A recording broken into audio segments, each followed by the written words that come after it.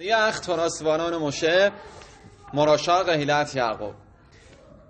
قبل از اینکه داستان خروج از مصر را توضیح بدیم اولا ما باید بدونیم که ما از نسل ابراهام אבינו עליו השלום یم به ابراهام می‌گفتن ابراهام העברי. چرا به ما میگن עברי؟ עברי یعنی آن طرف رود. به خاطر اینکه ابراهام خودش اومد از مردم دورش که بتپرست بودن جدا کرد بنابراین به ابراهام می‌گفتن ابراهام ایوری. حالا ماجرا چی بوده؟ وقتی که ابراهام به دنیا میاد تو سن سه سالگی خدا رو می‌شناسه. تو سن سه سالگی میاد اول فکر می‌کنه که آقا شاید خورشید خسف شالم خدا باشه. بعد میاد خورشید رو میپرسته. بعد می‌بینه خورشید رفت ماه اومد. میگه خب حتما ماه خداست خسف شالم میاد دوباره ماه میپرسته دوباره روز میشه دوباره خورشید میاد. میگه آقا فراتر از اینا خدا باید باشه. و خدا عقلی در عقل ابراهام قرار میده که به این شکل ابراهام میاد و خدا رو می‌شناسه.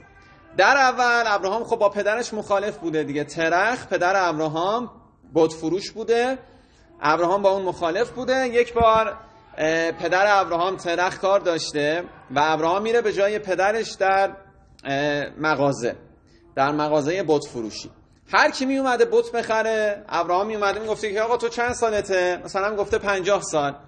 یا تو که 50 سالته می‌خوای بتی که دو روزه ساخته اونم ساخته بشره بپرستی؟ و اینجوری باشون حرف می‌زده و منصرفشون می‌کرده. تا اینکه یه بار یه پیرزنی میاد و این پیرزنه یه جوی دستش بوده می‌خواسته برای بزرگترین بوتی که تو اون مغازه بوده تقدیم بکنه. هر ابراهام میاد باش صحبت می‌کنه. پیرزنه راضی نمیشه. می‌ذاره اون میره. ابراهام میاد فکر می‌کنه میگه الان وقتشه که همه بوتا رو از بین ببرم میاد و ابراهام همه بوتا رو میشکنه و تبر رو می‌ذاره روی بت بزرگه. و وقتی پدرش میاد تعجب می‌کنه. میگه چه اتفاقی افتاده ابراهام و میان و ابراهام به پدرشون میگن که این بت بزرگه اومد با همه بوتا دعوا کرد. به خاطر اینکه این جوها رو می‌خواست برداره و اومد همه بوتا رو از بین برد. پدر ابراهام میگه این چه ابریه که می‌زنی ابراهام مگه بوته جون داره که این کار انجام بده؟ ابراهام میگه بابا ببین حرفی که خودت می‌زنی که جون نداره این که نمی‌تونه کاری انجام بده. پس چرا میای اونا میپرستید پدر ابراهام گوش نمیده به ابراهام میره و به نیمرود تو اون موقع جریان رو تعریف می‌کنه. نیمرود تصمیم می‌گیره به خاطر اینکه درس عبرتی بشه برای همه تصمیم می‌گیره که بیاد و ابراهام در آتیش بسوزونه. میاد و دستور میده که هر کسی که بت دوست داره بیاد و در فلان دهکده که بعدها به اون دهکده می‌گفتن اور کستیم که تو تورا خیلی این اور کستیم گفته میشه. اور کستیم یعنی آتیش کستیم. در دهکده کستیم این آتیش اومد و روشن کردن. چهل شبانی روز فقط می اومدن و هیزم جمع می‌کردن تو اون دهکده که آماده بشن که ابراهاما بسوزونن. زمانش فرا می‌رسه آتیش خیلی قدرتمندی یا روشن می‌کنن. بله هیچ هیچ که جرئت نمی‌کرده که نزدیک این آتیشه بشه. حتی می‌خواستن ابراهامو ببرن تو آتیش بندازن. هی تو اون موقع هر کی میومده ابراهامو ببره تو آتیش بندازه خودش سوخته می‌شده. اینقدر حرارت آتیش بالا بوده. تا اینکه هر چیز ساتان میاد به ابراهام فریبش بده میگه ابراهام بیا حالا تعظیم بکن به بت حالا تو دلت خدا رو قبول داشته باش حالا یه تعظیم همینجوری بیا بکن به بت که نجات پیدا بکنی. ولی ابراهام توجه نمی‌کنه و میاد قدوش ششم انجام میده. تا اینکه تصمیم می‌گیرن ابراهام خب هر کی می‌خواسته تو آتیش بندازه این آتیشه اون طرف رو میسوزونده. تا اینکه میان یه چیزی درست می‌کنن یه منجلیقی درست می‌کنن که ابراهام از دور بندازن در آتیش. و همین کار انجام میدن و حقادش بارخو خودش شخصا از اونجایی که ابراهام در زمین یه دونه بوده که خدا پرست بوده خود حقادش بارخو شخصا میاد و ابراهام از آتیش از کوره آتش نجات میده. حالا بعضی توضیحات گلستان میشه و ابراهام به این شکل قیدوش هشم انجام میده. از اون موقع همه می‌فهمن که خدایی وجود داره و خداپرستی رواج پیدا می‌کنه. ولی ابراهام یه اشتباهی که انجام میده حالا نمی‌تونیم ما در حدی نیستیم که بگیم اشتباه ولی چیزی که باعث میشه که نسل ابراهام در مصر برن این بوده که وقتی خدا به ابراهام میگه که من تمام این سرزمین ها رو به تو میدم ابراهام تو اون موقع میگه بما اده کی ایراشنا یعنی از کجا بدونم که خدا یا اینا رو به ارث می‌برم؟ ببینید در شعن ابراهام نبود که بیاد این چهار تا کلمه را بگه. از کجا بدونم خدایا که اینا رو به من ارث میدی؟ خب داره خدا میگه. شعن ابراهام نبود که این چهار تا کلمه را بگه. بنابراین خدا میاد میگه به خاطر این چهار تا کلمه ای که تو صحبت کردی من بن اسرائیل افراد اسرائیل 400 سال به گالوت می‌برم. خب؟ و این 400 سال از تولد یسخاق شروع میشه. یعنی از تولد یسخاق شما 400 سال بشمارید. تا وقتی که اسرائیل از مصر بیرون میان 400 سال طول می‌کشه. ولی تو تورا میگه 410 سال. به خاطر اینکه تو تورا اون ده سالی که می‌ذاره از زمان بریت بن هبتاریمه. یعنی اون عهد بین شقه ها که خدا با ابراهام بس از اون موقع حساب شده. ولی این 400 سالی که اسرائیل تو گالوت بودن از زمان تولد اسحاق شروع میشه. که 210 سال از این 400 سال تو مصر بودن. پس افراد اسرائیل 210 سال تو مصر بودن.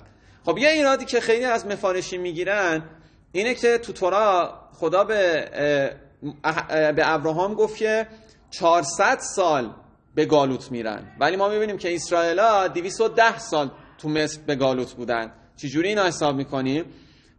اولا توضیح اولش این بود که این 400 سال از تولد اسحاق شروع شد. و خدا تخفیف داد به نسل ابراهام. 190 سال تخفیف داد. بعد این 210 سال دیگه اوج گالوت شد. یه توضیح دیگه که خخامی میدن اینه که این 210 سال اسرائیل اینقدر سختی میکشیدن و روز و شب کار می‌کردن که مثل این بود که 400 سال برای مصریا کار کردن. پس این 210 سال اینقدر شب و روز کار می‌کردن و سختی میکشیدن که این مثل 210 سال برای اسرائیلا مثل 400 سال برای مصریا حساب شد. یه توضیح دیگه که خخامی میدن اینه که حالا جلوتر بیشتر توضیح میدیم. افراد اسرائیل تعدادشون تو این 210 سال خیلی زیاد شد. یعنی این تعدادی که اسرائیل باید تو 400 سال جمعیتشون اونقدر می‌شد تو 210 سال اونقدر شد. خب؟ که حالا طبق توضیح بعضی توضیح ها 15 میلیون نفر. خب؟ این 15 میلیون نفر حالا بعضی توضیح میگن 150 میلیون نفر. حالا اوکی. توضیح های مختلفی گفته میشه. یعنی اسرائیل تو این 210 سال که جمعیتشون 15 میلیون نفر شد بعد تو 400 سال می‌شد. پس اون نشمایی که باید تو گالوت می‌رفتن تو این 210 سال تو گالوت رفتن. پس 210 سال افراد اسرائیل در مصر بودن و بعد از 210 سال از مصر نجات پیدا کردن. می‌دونید که افراد اسرائیل جمعیتشون خیلی زیاد می‌شد تو مصر. یعنی مصری اومدن گفتن پن به. بیاید و یه فکری بکنیم که مبادا جمعیت اسرائیل زیاد بشه. حقادش باروخ اومد گفت کن به. شما میگید پن به مبادا زیاد بشن. خدا میگه کن به. به خاطر همین طبق توضیح میدراش زنان اسرائیل شیش قلو بچه به دنیا می آوردن که بر حتوریم توضیح میدن. از اونجایی که تو تورا میگه پارو و ایشرتسو و ایربو و اسمو بیمود مئود. یعنی 6 تا نفس تو تورا به کار می‌بره برای زیاد شدن اسرائیلا. از اینجا یاد می‌گیرن که اسرائیلا 6 قلو به دنیا می آوردن 6 قلو به دنیا می آوردن البته بعضی توضیحات میگه 12 قلو به دنیا می آوردن که به این شکل جمعیت افراد اسرائیل زیاد و زیاد می‌شد. خب اومد و پرو چند تا دستیسه چید که جمعیت اسرائیل زیاد نشه. اولین کاری که انجام داد اومد و افراد اسرائیل خیلی بهشون کار داد. همونطور که گفتیم شب و روز اسرائیل کار می‌کردن. اومد اونا را به بیگاری کشید. هم روز هم شب بیان و کار بکنن. و اصلا فرصت برای پیریا وریبیا نداشته باشن که بخوان پیش خانوادهشون باشن که اصلا بچه ای به دنیا بیارن. ولی با این وجود خدا می اومد و معجزه‌وار در چاه آب افراد اسرائیل در چاهی که می اومدن آب میکشیدن در اون چاه ماهی های ریز ماهی کوچیک قرار می‌داد خدا معجزه‌وار که به این شکل این این ماهی ها می‌دونید که آخه ماهی کوچیک برای پیریا وریویا خیلی خوبه. یعنی زاد و ولد زیاد می‌کنه. و به این شکل باعث شد که افراد اسرائیل بیان و פריה ורביה زیاد داشته باشن. پس این دسیسه پرو کنسل شد. یه دسیسه دیگه ای که اومد و پرو چید که اسرائیل تعدادشون کم بشه. ولی موفق نشد این بود که اومد به قابله ها که شیفرا و پوا بودن که همون میریام و یوخود بودن خواهر משה רבנו و مادر مشربنو. اینا زا زاو بودن می اومدن میز میزایدن بله ماما بودن. می اومدن و زنی که باردار بوده و می‌خواسته بچه یا به دنیا بیاره اینا ماما بودن که اون بچه را به دنیا می آوردن میاد به اینا میگه که هر پسری که به دنیا میاد اونا بکش و دخترها را زنده نگه دار. ولی پوا و شیفرا نمیان این کار انجام بدن و میان به پرو میگن که قبل از اینکه اینا برسن اینجا بچهشون به دنیا میومد. و اصلا ما قدرت همچین کاری ها نداشتیم. و خدا هم مزد میریام و یوخودا میده دیگه که به یوخوت همچین فرزندی میده مثل مشرب بنو. و همینطور نسل کهانت. و به میریام نسل پادشاهی که از نسل میریام بوده اینه که تو تورا میگه و اصل و باتیم خدا اومد در اونها خونه درست کرد. خونه اینجا منظور. تاج کهانت و تاج پادشاهیه که خدا مزد یوخوت و میریاما داد. اینجا یه اشتباه خیلی بزرگی پروا کرد. یعنی نادانسته اومد یه فکر اشتباهی کرد. اگه می‌خواست نسل اسرائیل زیاد نشه باید میومد می‌گفت دختران اسرائیل از بین ببرید. به خاطر اینکه می‌دونید دین طبق مادر میره. یعنی ما که الان یهودی هستیم به خاطر اینه که مادرمون یهودیه. یعنی هر مادر یهودی فرزندش هم یهودیه. با وجود اینکه بدترین مثلا فرض کنید خاص شالام خطاها را بکنه یا حتی تغییر دینم بده هیچ موقع یه فرد اسرائیل دینش تغییر پیدا نمی‌کنه. ولی پروا اینا نمی‌دونسته. بنابراین میاد و اشتباها میگه پسرا را بکشید. در صورت که باید قانونا می‌گفت دخترا اگه می‌خواست جلوی زیاد شدن اسرائیل ها را بگیره. ولی بارو خشیم که این قانونا نمی‌دونسته که به این شکله و همچین گزرا یا نبرید. در این بین میاد و امرام یعنی مادر مشر... پدر مشرب بنو از همسرشون یوخوت از مادر مشرب بنو جدا میشن. یعنی آقا چه فایده داره که ما بیایم بچه به دنیا بیاریم و این بچه ها رو به این شکل از بین ببرن یا خیلی از بچه هم که به دنیا می اومدن اونا رو تو رود نیل مینداختن خب چه فایده داره که ما بیایم بچه به دنیا بیاریم؟ و امرام میان و سه ماه از یوخوت جدا میشن. امرام پدر مشرب بنو سه ماه از مادر مشرب بنو یوخوت جدا میشن که آقا چه فایده داره ما بیان بچه به دنیا بیاریم؟ اینجا میریام اون موقع پنج سالش بوده. ولی از همون بچگی نبوت داشته. نبوت میاره پیش پدرش پیش امرام. میگه پدر کاری که تو شما دارید انجام می‌دید از گزرای پرعو سختره ببینید اون موقع امرام بزرگ دوره بوده.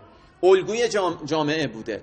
وقتی که یه کاری امرام انجام می‌داده تموم جماعت میومدن بله به خاطر کاری که امرام انجام داده اون کار انجام می‌دادن. حالا همه اومده بودن از همسراشون جدا شده بودن. میریام میاد به پدرش میگه کاری که شما انجام دادید از גזרה ی پرو سختره شما الان اومدید از یوخود جدا شدید هم دارید باعث میشید که نه پسری به دنیا بیاد نه دختر. در صورتی که پرو فقط حکما بر پسرا بریده شما الان که اومدید از یوخود جدا شدید باعث شدید که دیگه دخترم به دنیا نیاد. و ثانیا پرو خیلی اسرائیلا بچه رو فراری میدن. بچه هاشون رو پنهان می‌کنن که کشته نشن. ولی شما با این کاری که دارید انجام می‌دید اصلا بچه‌ای به دنیا نمیاد. خب؟ و بنابراین امرام میاد و یوخودا برمیگردونه و همه اسرائیل هم پیرو امرام میان و همسرانشون رو برمیگردونن. اینجاست که میگن مشربنو شیش ماه به دنیا اومده. در صورت که مشربنو همون نه ماه به دنیا اومدن. این سه ماهه که یوخوت از امرام جدا بود یوخوت حامله بود سر مشربنو خب؟ سه ماه جدا بود از امرام و مصریا وقتی که یوخوت برگشت پیش امرام از اون موقع اومدن شمردن که یوخوت حامل است. به خاطر همینه که وقتی مشربنو شیش ماه به دنیا میان یعنی همون در واقع نه ماه بودن سه ماه یوخوت وقت می‌کنه که مشربنو پنهان بکنه. پس طبق بلحتوری مشربنو همون نه ماه به دنیا اومدن. و این سه ماه مصریا اشتباه کردن. فکر کردن که یوخوت هنوز باردار نیست و بعد باردار میشه و این فرصت رو داشتن که تو این سه ماه بیان و مشربنوا پنهان بکنن. خب حالا یه سوالی که تو میدراش می‌پرسه اینه که چرا مصریا اومدن و بچه ها اسرائیل ها را تو رود نیل مینداختن؟ چه فکری با خودشون کرده بودن؟ اولا می‌دونید که وقتی اسرائیل بچه هاشون تو رود نیل میافتادن معجزه‌وار این امواج رود می اومده و اسرائیل را می برده این بچه اسرائیل را می برده در صحرا. و های از شیر و اصل و روغن. برای, برای بچه اسرائیل معجزه وار به وجود می اومده یا بعضی ها توضیح میدن که انگشت شست بچه ها شیره و اصل می‌داده و به این شکل اینا زنده میموندن. اینه که حدسور تامین پاولو. تو تورا داریم دیگه. حدسور تامین پاولو. یعنی خدایی که معجزای کارهایی که انجام میده پاولو یعنی عجیبه. و یه پاسخ دیگه داریم. و ینیقه هو دوش میسل و شمن مخلمیش سور. الان هم پاسخ توراست فصل 32 پاسخ 13 که در اونجا الان میگه که و مکیدن از اصل صخره و شمن مخلمیش سور.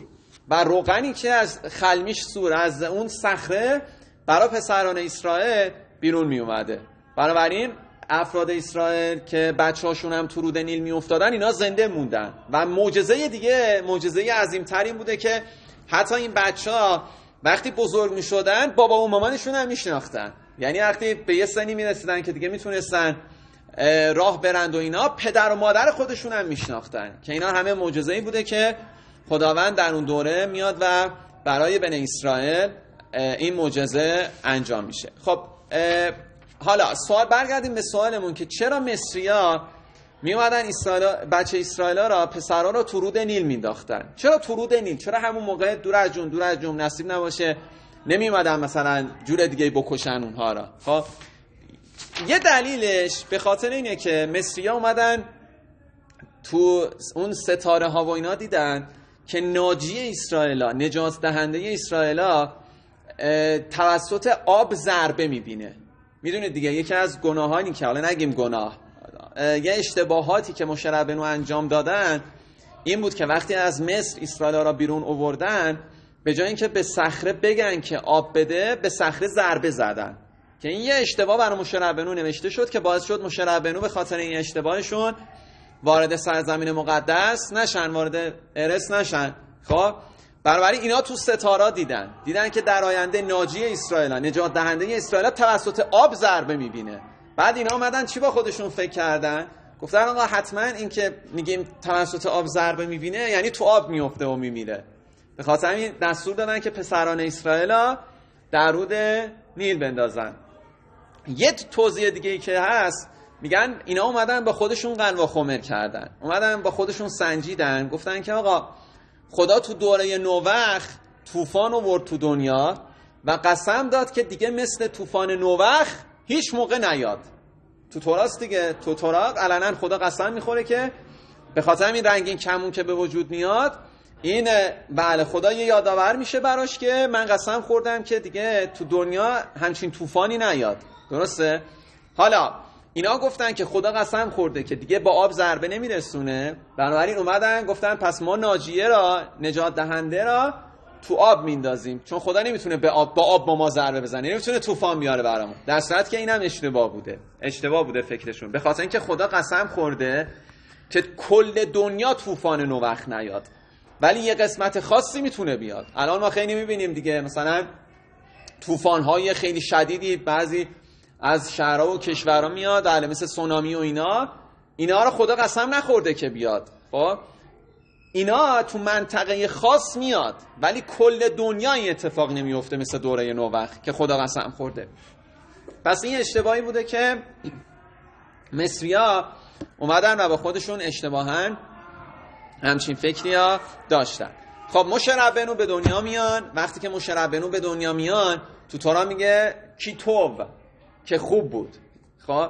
که اینجا راشیزا توضیح میدن. میگن اگه ما بیایم اول آفرینش هم ببینیم در مورد زمانی که خدا نور را میآفرینه میگه ویر الوهیم کیتوب و دید خداوند که نور خوبه.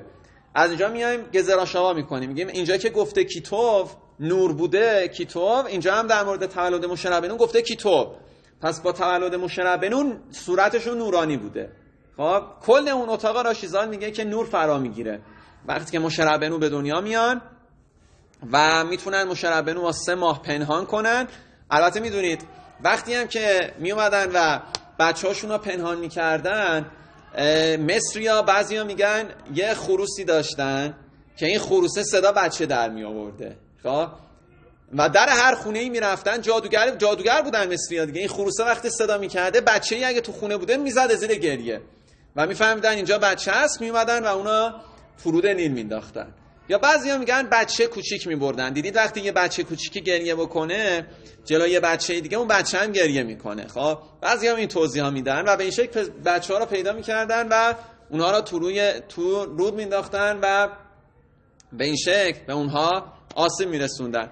خب پس مشربن و سه ماه می‌تونن پنهان بکنن. به خاطر اینکه گفتیم اشتباها اینا فکر کرده بودن که یوخوت وقتی امران برمیگرده بر سر مشربنو باردار میشه.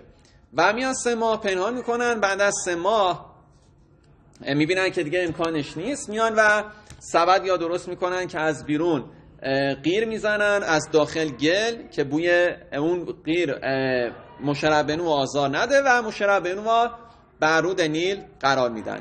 یه نکته که خیلی مهمه اینه که امران یوخوت مادر مشربنو تو سن 130 سالگی مشربنو به دنیا میارن. این هم معجزه بوده. تو سن 130 سالگی یوخوت مادر مشربنو مشربنو به دنیا میارن. خب خواهر مشربنو موقع 5 سالش بود 5 سالشون بوده میریام. خب می‌دونید دیگه تفاوت سنی میریام و هارون و مشربنو سه سال بوده. یعنی میریام که 6 سالش بوده اهرون سه سالش بوده مشربنو به دنیا میاد. یعنی سه سال و سه سال تفاوت سنیشونه خب؟ میریام میان و می‌بینن که چه اتفاقی برای مشربنو میفته. میان از دور می‌بینن و بعضی ها میگن 20 دقیقه بعضی ها میگن یک ساعت. میریام برای مشربنو صبر می‌کنه که ببینه چه اتفاقی برای مشربنو میفته. و اینجا خدا مزد میریام میده که بعدهایی که اسرائیل از مصر بیرون میاد می‌بینن که وقتی می‌بینن که میریام حالا به عزت هشم خواهیم رسید. میاد و لاشونها رو میگه پشت مشربنو و برس می‌گیره هفت روز برس داشته. و از اردوگاه باید دور بوده میریام. وقتی اسرائیل از مصر بیرون میاد. و تمام اسرائیل به خاطر احترام میریام هفت روز استاپ کامل می‌کنن و به راهشون ادامه نمیدن. هفت روز خدا مزد میریام میده که یک ساعت برای مشربنو وایساد که ببینه چه اتفاقی برای مشربنو خواهد افتاد. پس مشربنو برود نیل قرار می‌گیرن میرن تا اینکه دختر پرو اسمش چی بوده؟ بتیا بتیا که حالا لفی قبالا بر طبق قبالا بعضیا میگن بتیا تیغون خوار اومده بوده بده. حالا اینا کاری نداریم خیلی یکم عمیق این بحثا بخوایم توضیح بدیم. بتیا اون موقع رفته بوده در رود نیل که غسل بکنه بعضی میگن به خاطر اینکه بیماری پوستی داشته و هر روز می‌رفته و غسل می‌کرده که این برسش خوب بشه. بعضی میگن نه از اون موقع اومده غسل می‌خواسته غسل بکنه که خدا پرست بشه. خب؟ می‌دونید دیگه خب کسی که می‌خواد گرصدق بشه میاد و غسل می‌کنه. بعد هم اومده بوده غسل بکنه تویلا بکنه که به این شکل خدا پرست بشه. بله در این بین اون سبد مشربنوا می‌بینه. طبق توضیح میدراش معجزه‌وار میاد و دست بطیا دراز میشه دوازده اما بعضی میگن 6 متر بلند میشه که اون سبد رو بگیره و وقتی مشربنو در آغوش می‌گیره طبق بعضی توضیحات مشربنو اون موقع ادرار می‌کنن و به این شکل اون بیماری پوستی بطیا شفا پیدا می‌کنه. از اون موقع همه خب ببینید بطیا دخترش پادشاه بوده. دختر پادشاه بوده با کنیز و اینا میاد بیرون. دختر پادشاه که تنها نمیاد. خب اینا اومدن به, پر... به بطیا گفتن که آقا اگه همه دنیا هم حرف پادشاه ها گوش ندن دخترش باید اجرا بکنه. چرا تو الان می‌خوای یه بچه اسرائیل نجات بدی؟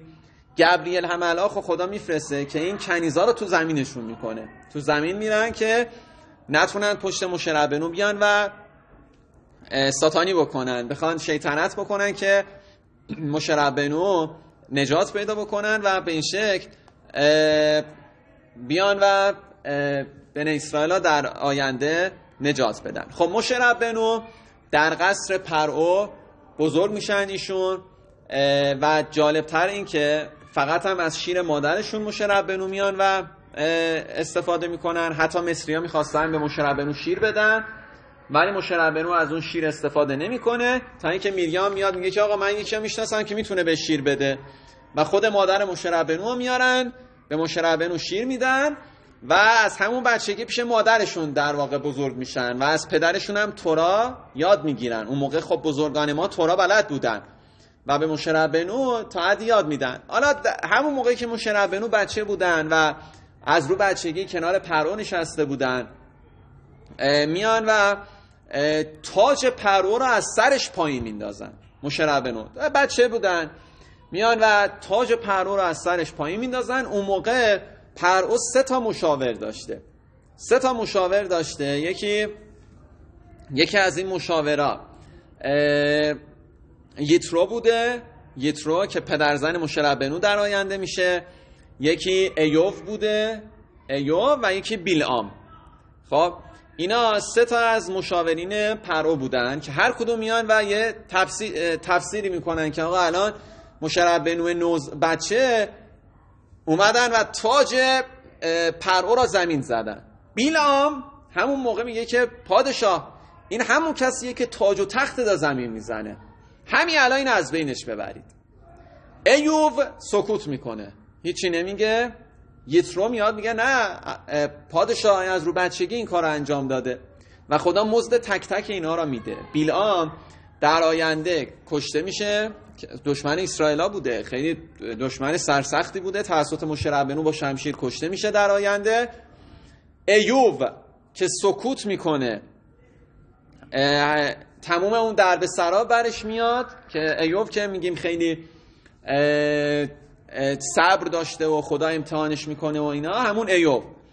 این سختی ها و اینا میاد که به خاطر اینکه سکوت کرد و طرفداری از مشربنو نکرد و یترو که اومد طرفداری از مشربنو کرد شد پدرزن مشربنو خب پدرزن مشربنو بودن خیلی مقام می‌خواد دیگه. خب اینجا ما یه نکته یاد می‌گیریم. ببینید ایوب اومد سکوت کرد. بعضی موقع اگه ما می‌بینیم که یه اشتباهی داره انجام میشه و می‌تونیم جلوشا بگیریم. مثلا یکی داره بدی میگه ما می‌تونیم زبون خیر برداریم خوبی بگیم.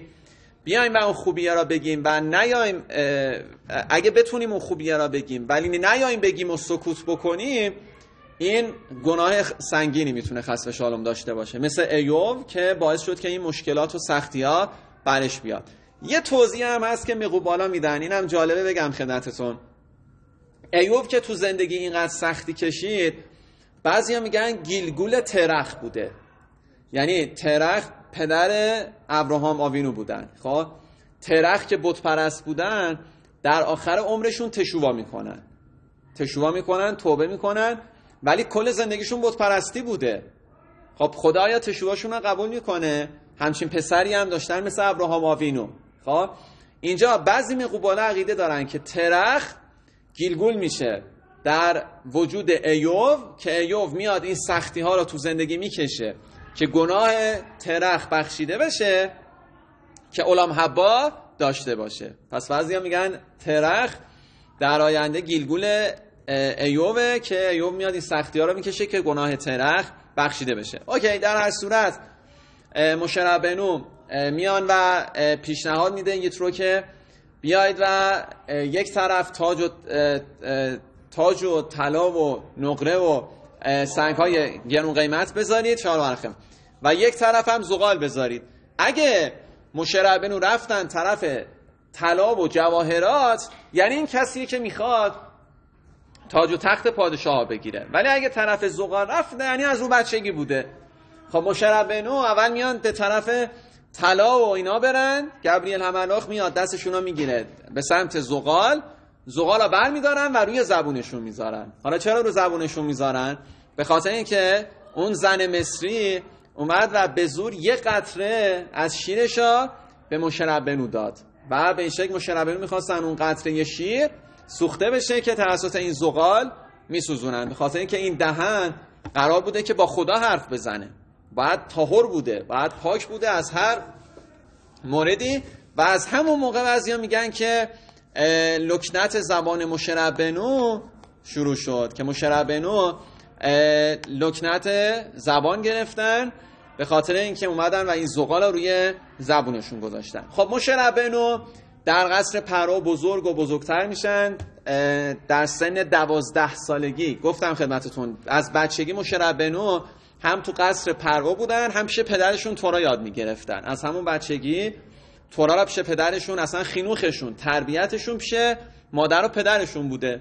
و تورا را یاد می‌گیرن دوازده سالگی میان ای سر می‌زدن به برادرانشون که توی مصر بردگی میکشیدن. میان و اه اه کمک می‌کردن به برادرانشون. میمدن اسرائیل ها رو می‌دیدن. اگه کمکی می‌خواسته یه اسرائیلی مثلا بارش سنگین بوده مشربنو کمکش می‌کرده.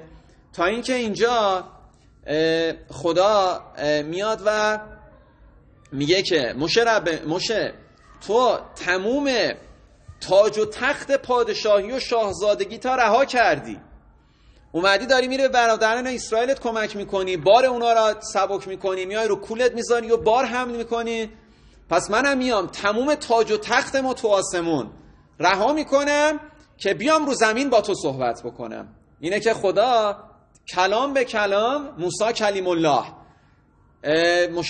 خدا کلام به کلام با خدا با مشربنو میومد و صحبت می‌کرد. خب در این بین که مشربنو به اسرائیلای کمک می‌کردن می‌بینن که یه مصری داره یه اسرائیلیا محکم می‌زنه. خب حالا چه ماجرا چی بوده؟ این مصریه اومده بوده و با همسر این اسرائیل خطا انجام داده بوده و این اسرائیل فهمیده بوده این ماجرا را. اومده بوده با این مصریه دعوا که چرا این کار انجام داده؟ مصریه داشته اسرائیل را می‌زده. در این بین مشربنو اگه تو تورا رو دقت بکنیم مشربنو میان این طرفا می‌بینن. تو تورا میگه آنا و آنا یعنی مشربنو این طرفا دیدن اون طرفا دیدن و با شم با ذکر نام اعظم هشم اومدن و مصریه را از پا در آوردن و اونا زیر شنهای اونجا پنهان کردن. خب. حالا جالب اینجاست که راشیزان اونجا توضیح میدن. میگن یعنی چه مشربن اومدن این طرف و اون طرف ها دیدن. خب طبق یه توضیحی اومدن ببینن که کسی نبیندشون خب.